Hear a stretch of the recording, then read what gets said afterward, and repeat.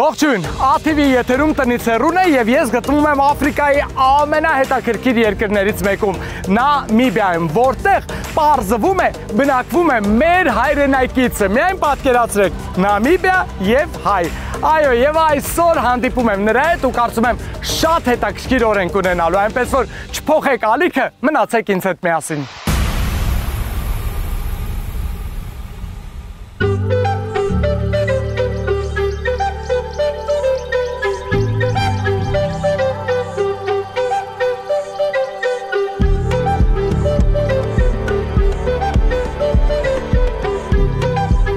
Առհասարակ աֆրիկյան ճամփորդությունների ժամանակ շատ կարևոր է, երբ ինձ ուղեկցում են բան իմաց մարդիկ, ովքեր տեղացի են ու տիրապետում են իրենց երկրի բոլոր գաղտնիքներին։ Կարենի հետ կծանոթացնեմ նաև ձեզ։ Ահա տեսնում եմ արդեն Կարենին։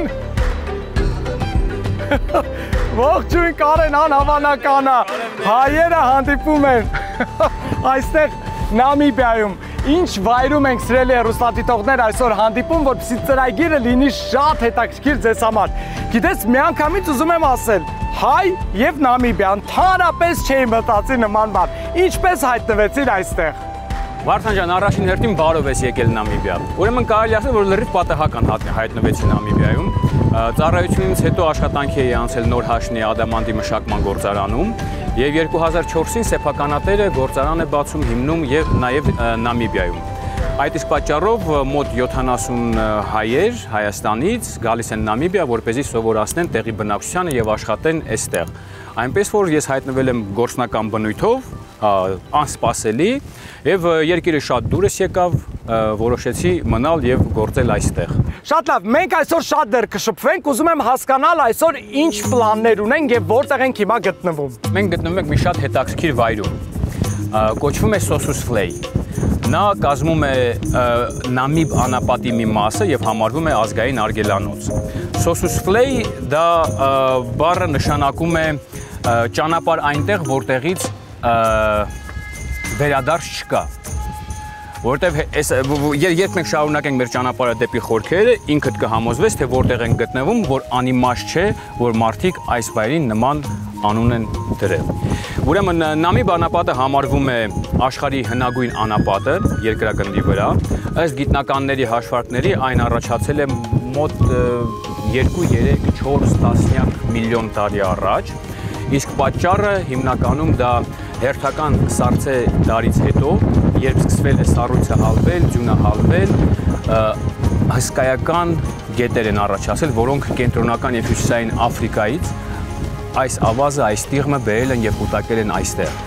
Իսկ մնացածը արդեն քամու գործունեությունն էր, որ այդ ավազը տիղմը սփռվել է ամբողջ Ատլանտյան ափի երկարությամբ։ Այստեղ դուք ինքդ կհամոզվես կամ մի պուրակ, կոչվում է մեռած ծառերի պուրակ կամ մեռյալ անտառ։ Մինչև մոտ 1000 տարի առաջ գետեր դեռ հոսում էին այնտեղ եւ մի փոքր օազիս էր առաջացել։ Հետո քամիների հետևանքով ջուները փակում են գետի հոսքը եւ ծառերը դադարում են ունենալ իրենց անհրաժեշտ խոնավությունը։ Մոտ 6-700 տարի է արդեն ծառերը չորացած դյունաներով շրջապատված կանգնած են քանի դար արդեն եւ պատճառը որ նրանք դեռ չեն ոչնչացել դա շատ սուղ, շատ խիստ չորային կլիման է այստեղ։ Եթե ուզում ես, հենց հիմա կարող ենք ճանապարհ ընկնենք եւ դու ինքդ քո աչքերով կտեսնես եւ կհամոզվես։ Շատ լավ։ Դե գնացինք։ I know it's bad to take a leap to my world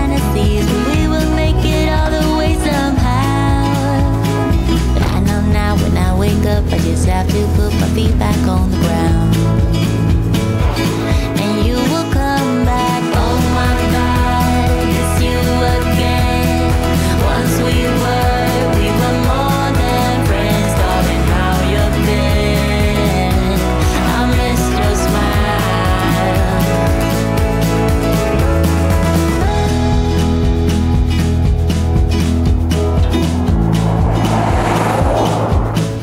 Վարդան ջան, մեր ճանապարհը ընկած է դեպի Մերիալ անտառ,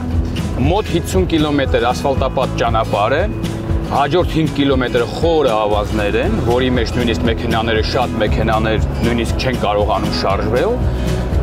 ը, 2 կիլոմետր մոտ պետք է ոտքով քայլենք այս շոքին, այս ավազների մեջ։ Իսկ ասես, այս ամբողջ ճանապարհին ոչ մի բնակելի թաղամաս, քաղաք, գյուղ ոչինչ չկա։ Ոչինչ չկա, որովհետև սա, ինչպես նշեցի սկզբանե, ազգային արգելանոց է, իսկ ազգային արգելանոցում բնակելի վայրեր չկան։ Բայց գեղեցիկ բնություն է կենթանիներին նայի Oryx Այ մի րոպե կանգնի, խնդրում եմ, կանգնի, կանգնի։ Ես եթե չեմ սխալվում, այս կենթանին համարվում է Նամիբիայի խորհրդանիշը եւ դրոշի վրա հենց նա է Ճիշտ այդպես, զինանշանի վրա սա Նամիբիայի ազգային կենթանին է։ Սա Oryx անտիլոպան է, հարց կառաջանա միգուցե մոտդ, ինչպես են այս կենթանիները կարողանում ադապտացվել նման պայմաններին։ Ու խոնավությունը նրանք գտնում են արմատների մեջ, այդ աղքատ բուսականության մեջ, բայց մյուս կողմից էլ այստեղ նրանք բնական ճշնամի չունեն։ Այսինքն կլիմայական պայմանները այնպիսին են, որ խոշոր գիշատիչ այստեղ չկա։ Դրա համար սերնդե սերուն նրանք ադապտացվել են այս պայմաններին եւ քչով բավարարվելով, բայց ապահով զգալով շարունակում են իրենց կյանքը։ Ահա։ Եւ կարող եմ վստահ ասել, որ պետությունը այսպես հսկում է հայ այս տարածքը։ Շատ խիստ Նամ, Նամիբիան, նամիբիական կառավարությունը շատ խիստ միջոցներ է ձեռնարկում շրջակա միջավայրը բնական պահելու համար։ Իդեպ սիրելի հերոստատիտողներ ներս մտնելիս պետք էր անպայման վճարում կատարել, ամեն զբոսաշրջիկի համար 10 դոլար, իսկ տեղացու համար ընդամենը 6։ Դե մենք էլ իհարկե վճարումը կատարեցինք տեղում իշնորիվ American Express Gold քարտի, ինչը խորհուրդ եմ տալիս նաև ձեզ։ Տեղում թե առցանց վճարումը կատարեք միմիայն այս քարտի միջոցով։ Եթե դեռ American Express Gold քարտի քարտատեր չեք, շտապեք Ակբաբանկ։ Գնացինք Կարեն։ Իհարկե։ But I know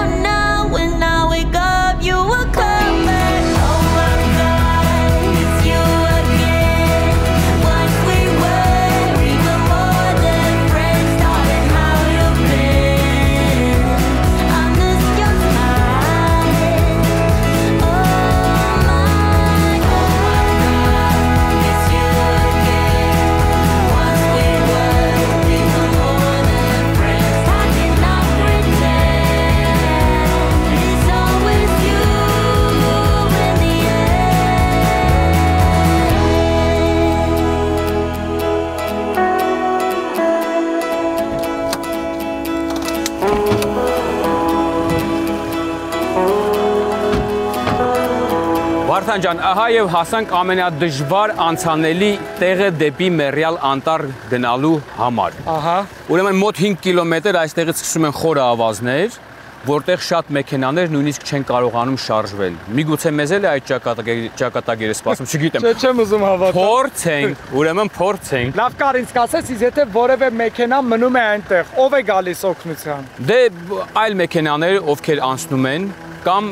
ոչ հեռու է այստեղ կան ռեյնջերները, որոնց կարելի է իմաց տալ կամ զանգահարել լոջ, այնտեղից մեքենաներ են ուղարկում եւ մարդկանց այս ավազներից հանում են։ Բայց կապ բռնում է այստեղ։ Այստեղ ոչ, բայց ռեյնջերների մոտ ռադիա կա, ռադիո ռադիո կապով իրենք կարողանում են կապնվել շրջակա լոջերի հետ։ Ահա։ Լավ, գիտես նաև ինձ ինչա հետաքրքրում, այստեղ այ լոջեր ասեցին, դա հյուրանոցներ են, շատ ի դեպ գեղեցիկ ու ֆանտաստիկ, որտեղ կա հնարավորություն գիշերելու։ Այսինքն եթե դու մի քանի օր մնում ես այս տարածքում, ամեն օրվա համար պետքա վճարում անես։ Իհարկե, իհարկե։ Վճարումները ուժի մեջ են ընդամենը 12 ժամ, որովհետև արգելանոցը բացվում է արևածագի հետ մեկտեղ եւ փակվում է մինչեւ մայրամուտ։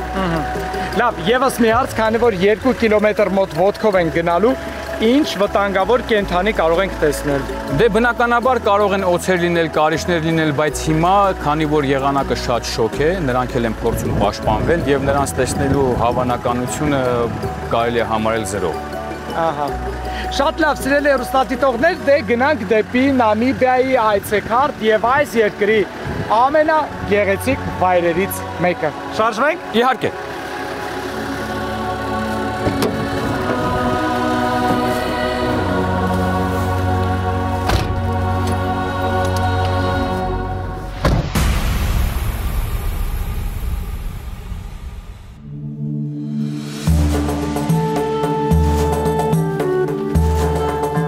Եւ մոտիկանում ենք Մերիալ Անտարին, Վարդան ջան։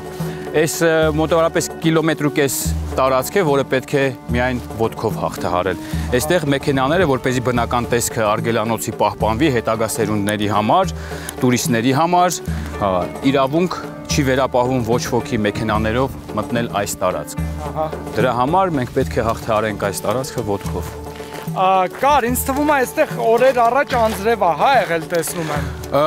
Այստեղ անձրևներ շատ հազվադեպ են լինում, Վարդան ջան։ Ահա։ Բայց մոտ 10 օր առաջ անձրևներ սկսվեցին անդադար եւ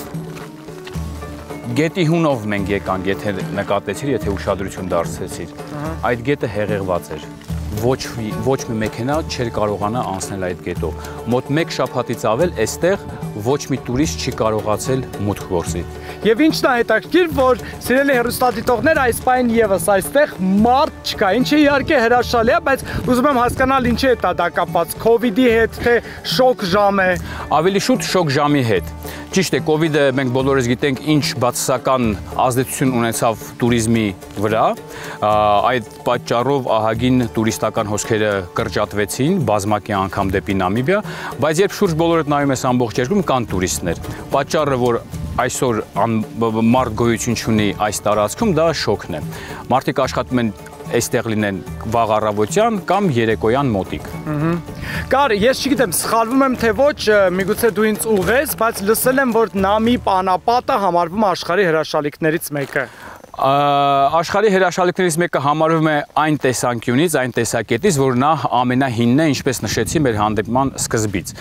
Համար 1 անապատն է երկրագնդի վրա։ Դե լավ, անցնենք ներս, շարժվենք առաջ։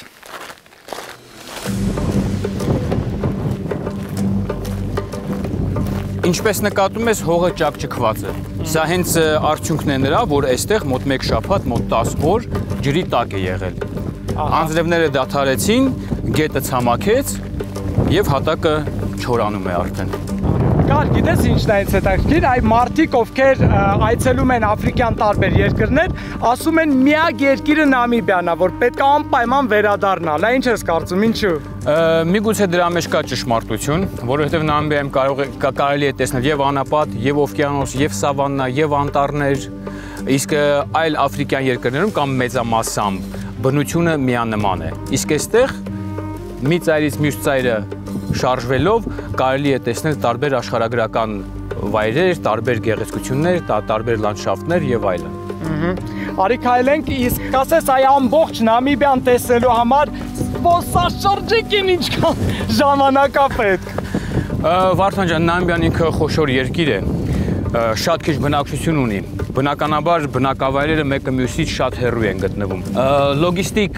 առումով առնվազն 10-12 օր ժամանակ է հարկավոր, որ เป զի գոնե ամենահիմնական տեսարժան վայրերը մենք կարողանանք այցելել Նամիբիայում։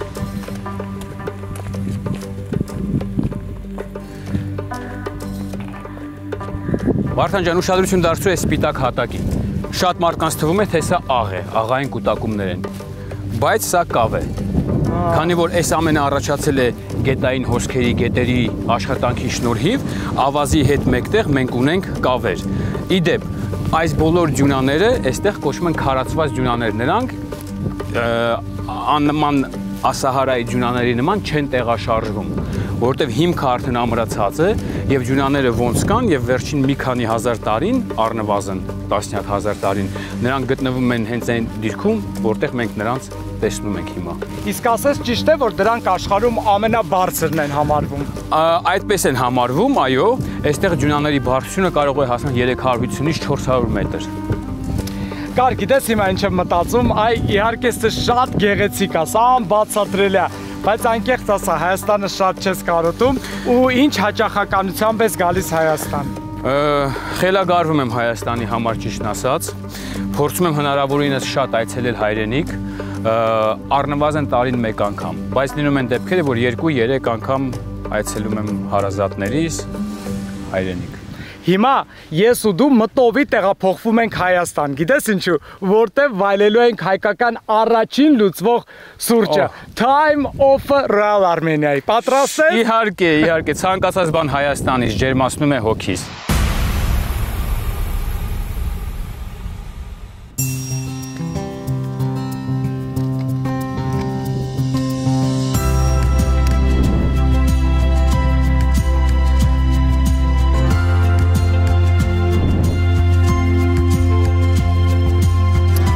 հայկական հրաշք սուրճը Նամիբիայի հրաշք անապատում։ Իսկականից շատ համեղ է Վարդան ջան։ Ես ընդհանրապես նույնիսկ սուրճ չեմ սիրում, բայց սա սիրեցի։ Շատ ուրախ եմ։ Իդեպ սիրելի հեռուստադիտողներ, ձեզ եւս խորհուրդ եմ տալիս time off-ը վայելել օրվա տարբեր ժամերին թե սառը եւ թե տաք տարբերակով։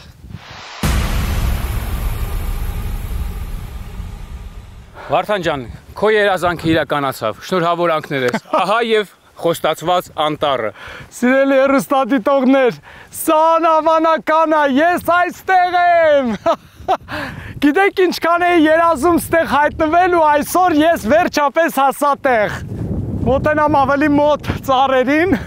Գիտեք, ընդհանրապես շատ հաճախ լինում է, երբ որ որևէ մի երկիր մեկնելուց առաջ նայում ես չէ լուսանկարներ կամ նկարներ համացանցում ու հետո հասնում ես տեղ ու հիասթափություն ես ապրում, որովհետև իրականում այն այդքան գեղեցիկ ու շքեղ չի լինում, ինչպես դու պատկերացնում ես, բայց սա միանշանակ հակառակն է, սա ավելի գեղեցիկ է, ավելի տպավորիչ, քան ես պատկերացնում էի։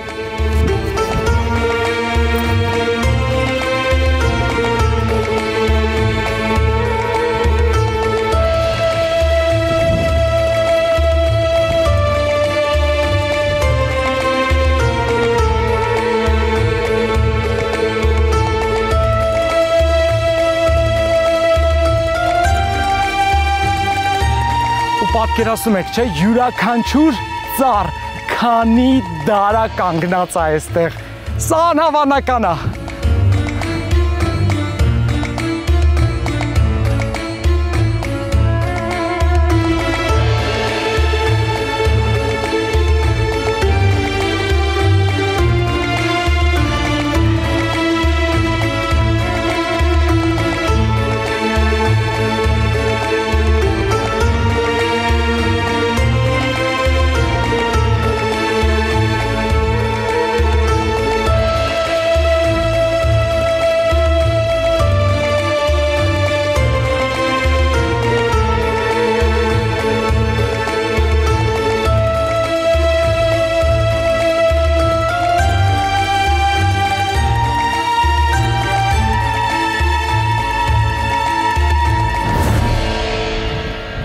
Ու գիտեք ինչն է ամենահետաքրքիրը, որ մարդու ձեռքը որևէ կապ չունի այս ամենի հետ։ Այս գեղեցկությունը ստեղծել է բնությունը դարերի ընթացքում։ Ու ես երջանիկ մարդ եմ, որ ունեմ հնարավորություն այսօր իրական կյանքում այս ամենը տեսնելու ու այս էմոցիաները, այս գեղեցկությունը, այս տեսարանը փոխանցելու նաև ձեզ։ Ես վստահ եմ, սա ձեզ շատ է դուր գալիս ու նորից ու նորից կրկնում եմ, Նամիբիան ուղակի հրաշք է։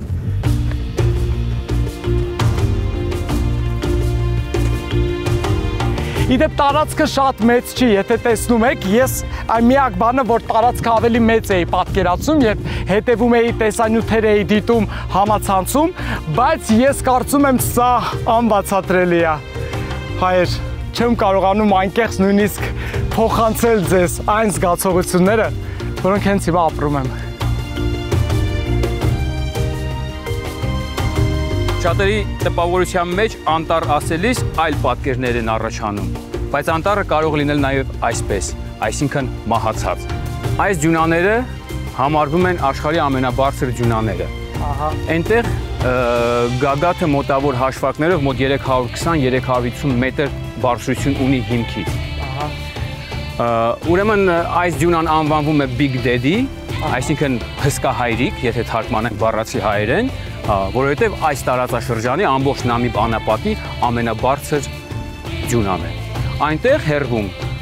Big Mama, այսինքն հսկա մայրիկ։ Նմ- Նմանատիպ անուններ են դրել, որպեսզի կարողանան տարբերել դյունաները մեկը մյուսից։ Այսինքն եթե ինչ-որ մեկին պետք է ինչ-որ մի կերպ բացատրել, որ մասում է գտնվում, հսկա հայրիկի Կամ հսկա ստորոտին կամ մայրիկի։ հսկա մայրիկի գրկում։ Հա։ Այդպես։ Ուրեմն գույնին ուշադրություն դարձրու։ Բոլորի մոտ տպավորություն կա, թե անապատը դա պետք է լինի միայն դեղին։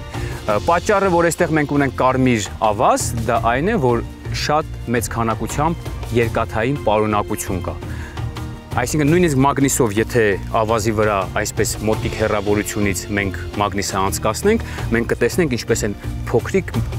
երկաթյա մասնիկները կպնում մագնիսին։ Դրա իսկ այ- այդ իսկ պատճառով մենք ունենք այս գինը, այս այս գույնը։ Էրոզիայի եւ այլնի հետևանքով մենք ստանում ենք կարմիր գույն։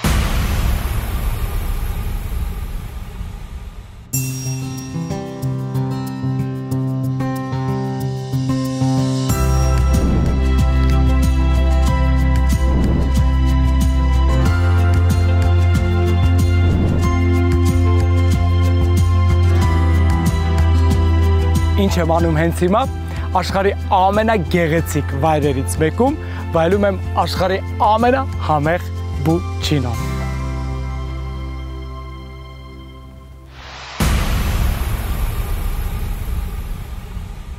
Լավ, դու ասացիր այսօր ինչ շարունակելու ես զարմացնել, ուր են գնում հիմա։ Վարդան ջան, գնում ենք մի ֆենոմենալ տեղ։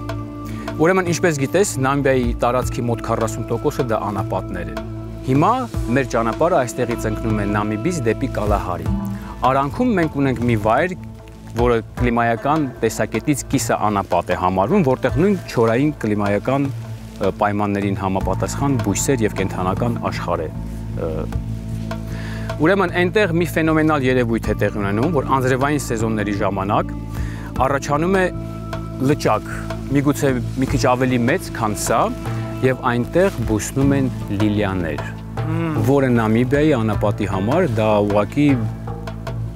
ան, ան, անհավանական մի երևույթ է։ Ու շատ մարդիկ անձրևային սեզոններին հատուկ գնում են դա մասնավոր ֆերմայի տարածքում է արդեն գտնվում իդեպ, յա, բայց մուտքը վճարովի է, բայց մեքենայով կարող ես գնալ, վրան տանել, այնտեղ ափին լճի վրանը դնել, խորոված անել, հայկական նույնիսկ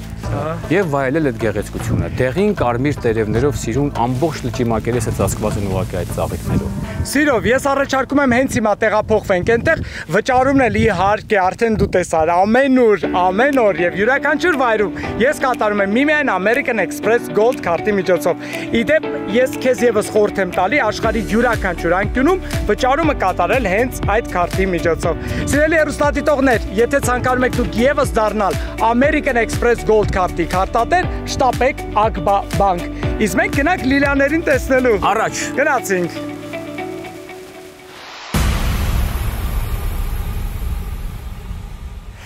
Նկարանումների օրերին, թե ճաշին, թե ընթրիքին ես հայտնվում եմ նման գեղեցիկ վայրերում, որտեղ հնարավորություն ունեմ հանգստանալու եւ իհարկե ճաշելու կամ ընթրելու։ Քիչ հետո ինձ այստեղ կհյուրասիրեն տեղի լավագույն կերակուրները, սակայն մինչ այդ դե հայ ենք, չէ, սեղանին պետքա լինի պանիրն ու հացը։ Իսկ եթե պանիր, բնականաբար միմիայն կատնա ընկերության լավագույն համեղ ու թարմ պանիրներն են, որոնք էլ առաջարկում եմ նաև ձեզ։ Փնտրեք այն մոտակա սուպերմարկետում եւ իհարկե վայելեք։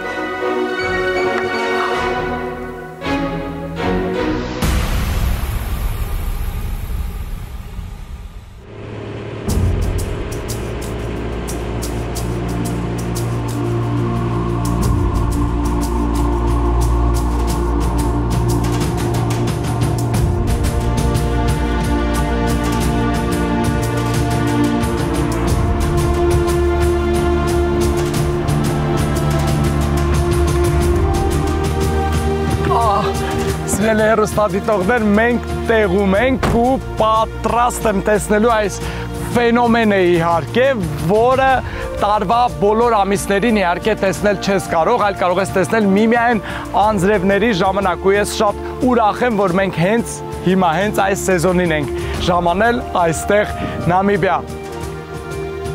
Մերյալ անտարից հետո անապատային այս անծայրածիր իրականությունում ծաղկած լիլիաներն ու ջրային այս օազիսը ասես հեքիաթից կտրված լիներ։ Որքան էլ Կարենը պատմում էր ու նախապատրաստում ինձ այս տեսարանին, անկեղծ եմ ասում։ Առաջին պահին շունչս մի տեսակ կտրվեց այս գեղեցկությունից։ Անհավատալի է։ Պատկերացրեք, միայն կիլոմետրեր ձգվող անապատի հենց կենտրոնում ծաղկած լիլաների ծով։ Ասես կախարդական մի ձերք ընտրել է այս ծովակն ու վրան գեղեցիկ դասավորել ծաղիկներ։ Թվում է, թե այստեղ ինչ որ հեքիաթ են գրում, որի անմիջական մասնակիցն ու գլխավոր հերոսը հենց դու ես։ Ջրի գույն իհարկե պայմանավորված է անապատի ավազներով ու մերիալ անտարի գույներով։ Սա ավազի արտացոլանքն է ջրում։ Այդ պատճառով էլ մերիալ անտարի ծովը կարմիր է բարիս ուղիղ իմաստով։ Նամիբիան դա անապատային, կիսաանապատային երկիր է։ Այսինքն անձրևային սեզոնը այստեղ սկսվում է հոկտեմբեր-նոյեմբեր ամիսներից, միշտ չի որ լինում է, բայց տևում է մինչև մարտ-ապրիլ ամիսները։ Ու այս երևույթը հիմնականում արտահայտվում է անձրևային սեզոններին, որը համարվում է ֆենոմեն։ Բնականաբար դա այդպես էլ կա, որովհետև անապատային կլիմայական պայմաններում լիլիա ծաղիկներ տեսնելը դա իրոք բացի ֆենոմեն կոչելուց այլ կերպ չես կարող կոչել։ Ահա։ Կար գիտես ինչն էր շատ հետաքրքիր, որ երբ պետք է ներս մտնեինք այս տարածք, մենք վճարում կատարեցինք։ Սա ինչ է, պետական տարածք է, թե սեփական է։ Սա ընդհանրապես Նամիբիայի տարածքը պատմականորեն ի սկզբանե բաժանված է եղել գերիշխող սպիտակ, ոչ թե գերիշխող քանակական տեսակետից, այլ իշխանության տեսակետից սպիտակ ընտանիքների միջև։ Սա ուղակի ֆերմա է, ռանչո, մա- մասնավոր ռանչո է։ Պետության հետ համաձայնության գալով ուղակի գումար են վերցնում մուտքի համար, միգուցե մի որոշ մասը պետությանն են տալիս, ու այսպես մարդիկ գալիս են այստեղ խորովածով, այսին Օրը վայելելու։ Հա, իհարկե։ Այստեղ հասնելն է ուղղակի մի քիչ դժվար, ինչպես տեսար Վարդան ջան, ճանապարհները այդքան էլ հաջող չեն, մանձրևային սեզոնի համար դա լրիվ բնական երևույթ է։ Ահա։ Իսկ ասես, այսինքն յուրաքանչյուր զբոսաշրջիկ, օրինակ ես, հա, եթե ունեմ գումար, կարող եմ գալ այստեղ, չգիտեմ, մի քանի հեկտար տարած գնել ու կենթանիներ պահել, հյուրանոց կառուցել։ Ուրեմն այստեղ օրենքները խստացրեցին անկախությունից հետո 1990 թվականին Նամիբիան ձեռք ձեռք է բերել ան- անկախությունը Հարավաֆրիկյան Հանրապետությունից։ Օրենքները շատ խստացրեցին մասնավորապես սպիտակ ռասայի հանդեպ։ Այսինքն, եթե դու տեղացի ես, այստեղ ծնվել ես, նշանակություն չունի, դու կարող ես գյուղատնտեսական նշանակության հող ձեռք բերել։ Իսկ եթե դու օտարերկրացի ես, ընդամենը տուրիստ, ընդամենը վարձակալության պայմաններով։ Ահա։ Բայց դե իհարկե ինչպես նշեցի քիչ առաջ ես երևի թե երջանիկ մարդ եմ, անկեղծ այս վայրը մեր նկարահանումների պլաններում չկար, այսպես հանկարծակի Կարենից տեղեկացանք, որ նման գեղեցիկ վայր կա ու հենց այս սեզոնին ու ուրախ եմ, որ մենք այս վայրն այստեղ ենք։ Գիտես, տեսնում եմ մարդիկ նույնիսկ լողում են այս ջրերում, այսինքն որևէ վտանգավոր կենթանի այստեղ չկա։ Չէ, չէ, այստեղ կլիմայական պայմանները թույլ չեն տալիս վտանգավոր կենթանիների համար, որովհետև ընդհանրապես ինքը շատ չորային է ու նման երևույթ չկա ընդհանրապես։ Այսինքն սա շատ խորը բան չի, սա ժամանակավոր առաջացող լճակ է։ Մինչև ծնկները երևակայի կարելի է կոշիկները հանել, ուղակի մտնել ավելի մոտիկից լիլիաներին ծանոթանալ։ Ահա։ Իսկ ընդհանրապես ես գիտեմ Նամիբիայում շատ կոկորդիլոսներ կան։ Լավ, որտեղ են այդ կենթանիները։ Կոկորդիլոսները հիմնականում դա ծայր հյուսիսային ու հյուսիս-արևելյան մասում են։ Այնտեղ մենք ունենք հիմնական հոսող գետեր, որը մենք ունենք Նամիբիայի բուն տարածքում։ Գետերը այստեղ առաջանում են անձրևների շնորհիվ։ Ու այստեղ, այսինքն կոկորդիլոսներ, նման ջրային այլ կենթանիներ գոյություն չունեն ուղակի։ Միայն հյուսիսային եւ հյուսիսարևելյան մասում նամ։ Ահա։ Դե սիրելի հերոստատիտողներ, իհարկե այստեղ կարելի է շատ երկար մնալ, մենք էլ չենք շտապում այստեղից հեռանալ, օրը դեռ արժևում է։ Կարևորը հարահայտ չորա չոր չորացած անտառը մենք միասին տեսանք եւ այս պայն այստեղ ենք, որտեղ էլ կարելի է հրաշալի ժամեր անցկացնել։ Ուզում եմ, որպեսզի դուք մեզ հետ միասին վայելեք այս գեղեցկությունը։ Կարեն, դե երկու հայ միասին գտնվում են Աֆրիկայում եւ ոչ միայն Աֆրիկայում, եթե հայերը որևէ մի երկրում կամ Հայաստանում հավաքվում են, դե ինչ պետք է ուտեն բնականաբար լավաշը, մեր հայկական պանիրը եւ կանաչին։ Այս պայն ուզում եմ քեզ հյուրասիրել Կատնա ընկերության Սուլուգունի չանախ եւ լորի պանիրները, որոնք շատ-շատ համեղ են եւ որակյալ։ Սիրելի հեռուստադիտողների դեպ այս պանիրները դուք կարող եք գտնել արդեն ձեր իսկ մոտակա սուպերմարկետներից մեկում։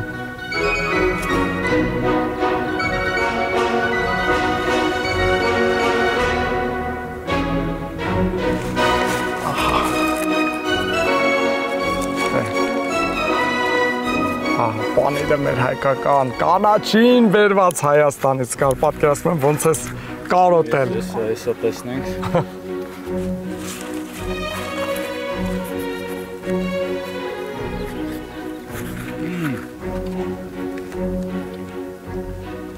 Մտովի տեղափոխվեցինք Հայաստան։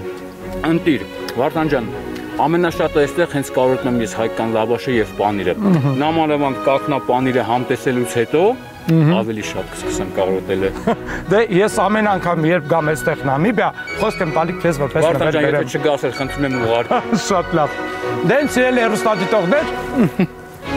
Մենք շարունակենք վայելել օրը։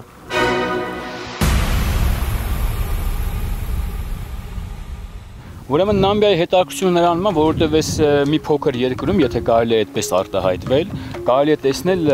մի քանի կլիմայական սեզոններին կամ կլիմայական գոտիներին համապատասխան վայրեր։ Օրինակ հյուսիսում, հյուսիսարևելքում, ինչպես ասացի, այնտեղ խոնավությունը շատ է, այնտեղ արդեն կիսա ջունգլի ջունգլիոտ, ասենք ինչ որ բնական կլիմայական պայմաններ են, որտեղ կոկորդիլոսներն են, որ որի մասին խոսացինք, արդեն մի քիչ դեպի հարավ Էտոշա ազգային արգելանոցն է։